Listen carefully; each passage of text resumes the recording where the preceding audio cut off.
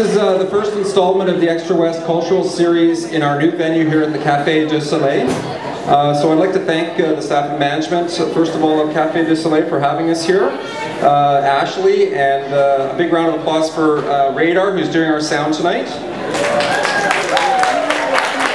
And just out of curiosity, how many people are here for the event tonight? Just that came for the event? Perfect.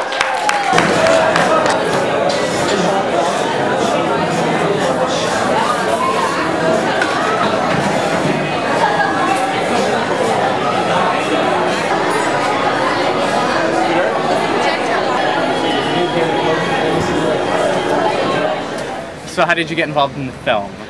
Well, it was an interesting, interesting story. I actually originally auditioned for um, another film that he was doing, and just by doing that audition, he got me to do this film. So that's how I got into it.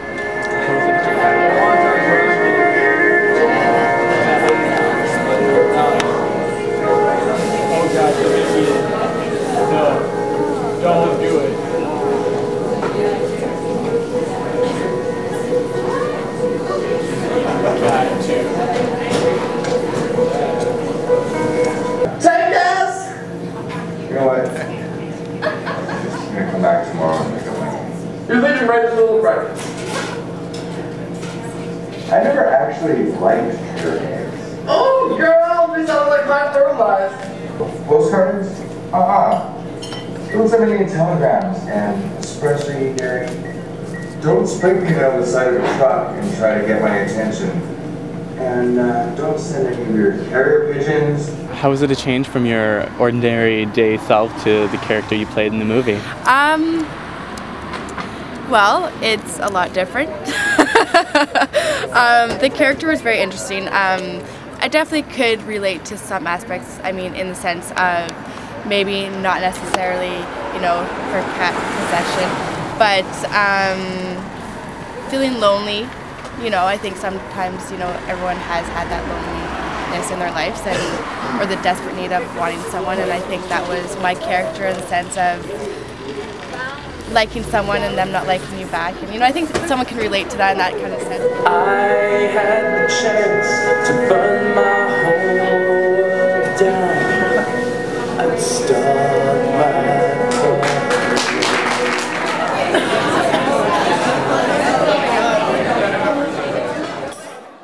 Was there any challenge in anything that you have you did in the movie? Um, I don't know. I don't think so. Um, just because I can relate to that part of, like I said, of just being needed and having friends and liking someone. So I don't think I really had any challenges. No, it was fun, and the crew was fun, and it was just a good time. So and everyone made it easy and relaxing, so it wasn't challenging.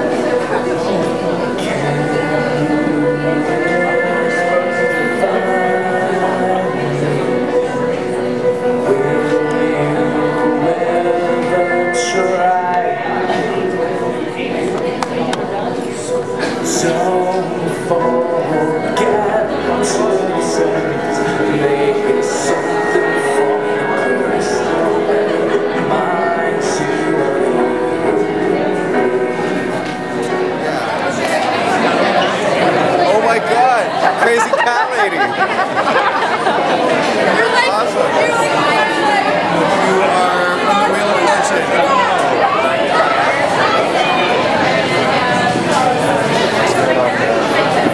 Space Toy and late. I got the Sky Team.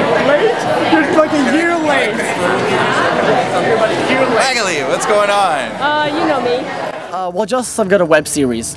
Name starting with "Take It Like a Man." Oh, okay. Oh, you know, we showed that the pilot for that. Yeah, I'll keep it right. Um, looks like most of the cast is coming back and the crew to shoot it. We'll do three seasons and then we'll see for internet and then we'll head to TV. Hopefully, we'll, I don't know. Strange World of Dark Comedy. It's not reality. It's monsters living with human beings. Would you ever do it again? I would, You would? yeah. So I hear they're doing another. They're doing a season or a series of this. Uh, Do you think you'll be involved in it this time?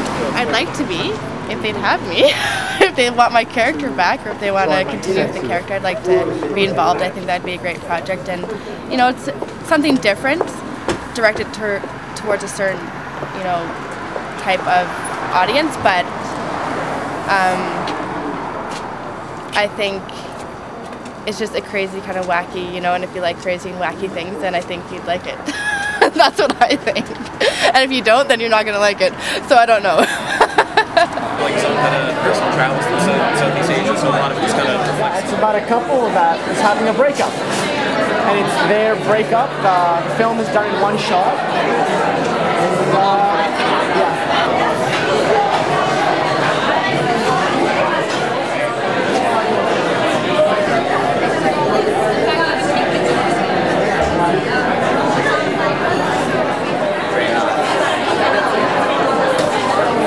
When they advertised in the newspaper about this event, the picture they had was of me like a year ago. I did not have any of this facial hair. It's really strange. People show up. A lot of people haven't even seen me though. Now that they see me some for the first time, because uh, some people know my name, but they never see me. Um, after you know so long of working in Vancouver as a filmmaker and actor, um, as an actor more when I first got to Vancouver, but now as a filmmaker, people know my name more, but not my face. Welcome to Deep CNN. If you're you can see wonderful films starting at $5.99.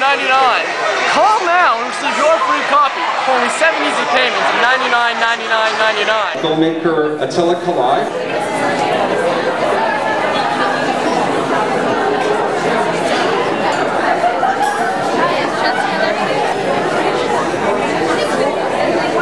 This is a by donation night. Uh, throw in a loonie, a toonie, a quarter, or a five, or ten, or twenty dollar bill. That'd be very uh, much appreciated because it's all going to the artist tonight. Thank you very much.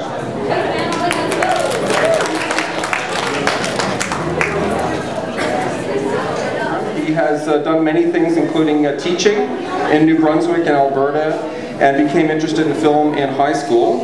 And um, he's also done some acting, has appeared in um, Woody Allen's Shadows and Fog, oddly enough, and uh, also some Shakespeare, uh, Romeo and Juliet, and Macbeth and King Lear.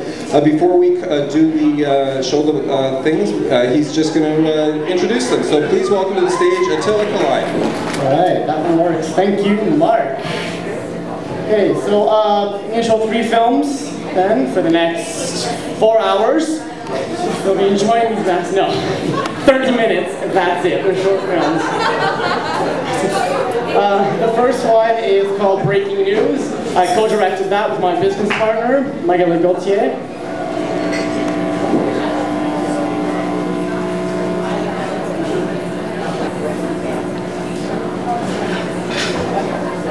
Nous interrompons notre programme afin de vous informer d'un fait très alarmant.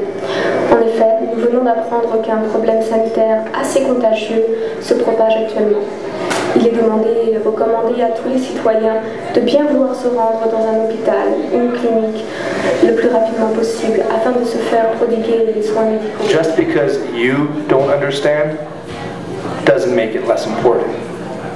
Homosexuality is not a disease, but the hatred is.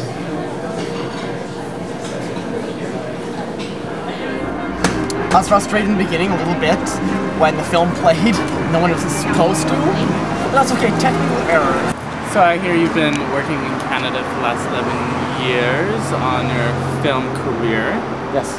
How's that going for you? Ah, it's going. It's going? it's going, it's good. It's been good. It's been uh, ever changing. I'm not really sure what else we'll actually see in the summer, but maybe next Christmas my feature will come out. But uh, Oh yeah, Merry Christmas.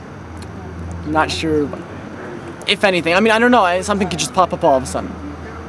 Well, I started about nine years ago, and I made my first film, uh, Strange Days, and you know, in the class I took there, we had to create a production name. Everyone in the class had to.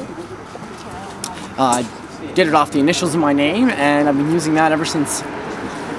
Um, nine years strong, and it's it's you know it's pretty good. You know, I figure it's the easiest way, and um, things have picked up. You know, actually got some people that are. I'm actually, you know, getting some producers interested in getting some money and such. So it's uh, slowly getting there.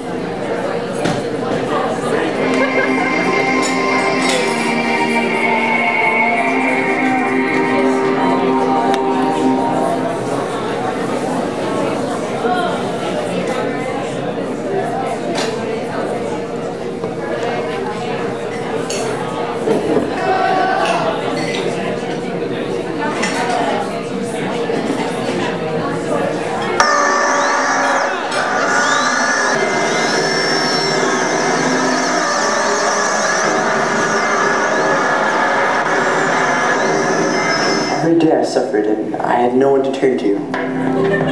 It makes me cry.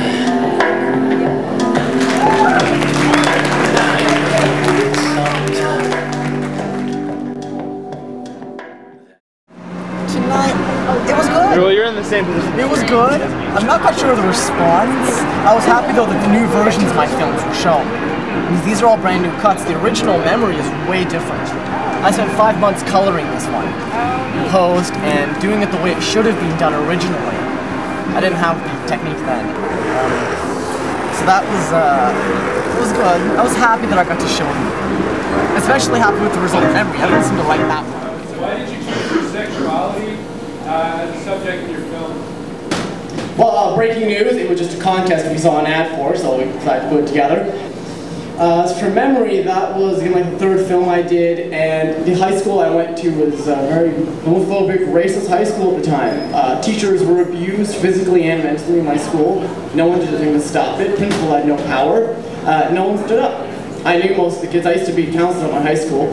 Um, there was a course there. A lot of the kids were gay, and we had GSA and stuff, but it didn't matter. Nobody stood up. So I said, all right, I'll make a film. It was the first action to get something going that was um, good for that community. It really needed something. People weren't being listened to. This is one thing I did, and uh, successfully it, uh, successfully, what am I saying? Successfully, gave me a lot of dates. Uh, successfully, uh, it struck a good nerve and a positive response, surprisingly, in the school. And that's why I did it, because of what was happening in my school at the time. left behind acting to go for a job I got in Montreal. After working with the kids for a year, this is kindergarten through seven, um, they reminded me why I became an actor, why I did it. I totally forgotten, and after I did that, I said, okay, you know what, I'm going back. I forgot how much fun it was. It's a game. It's fun. I took it too seriously.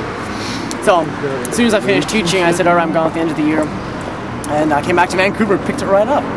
Rolling in action. So after, after being two years apart and I haven't seen you, I knew the reunion would have a woman in the middle. Our first sandwich. We were roommates for two years and we never got to do it because Magali's frigid. Which might be true, eh? So I haven't seen you Um, for a couple of years. oh, years. what does it and. Uh, and I'm I'm so impressed at everything you've Uh-oh. been up to. Okay, battery is gonna Uh-oh. be. Battery, battery is dying. Oh, I got one for you. Up your ass. Um, I think we should probably hurry up here. How about? No more questions, anything? We're good? I'm single. Give me a call. um, I'll be shaping this in the summer. I'm just you know, auditioning for the role of rapist and such, so my career is horrid. Uh, yeah, so I'm gonna wrap it up now. Okay, you talk to me after if you want, and uh, make fun of me in private if you're too embarrassed to say it out loud. Thanks.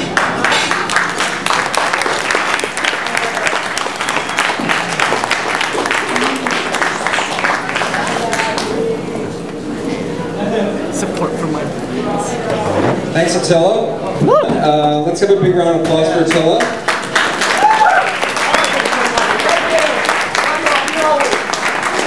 I've got about 15 films in the go.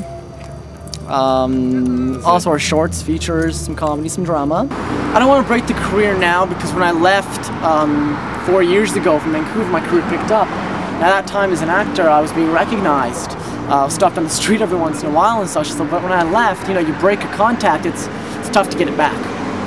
It was difficult when I got back here. Attila who? You know, I mean, I, I was well known as a child actor, but now it's so building it up.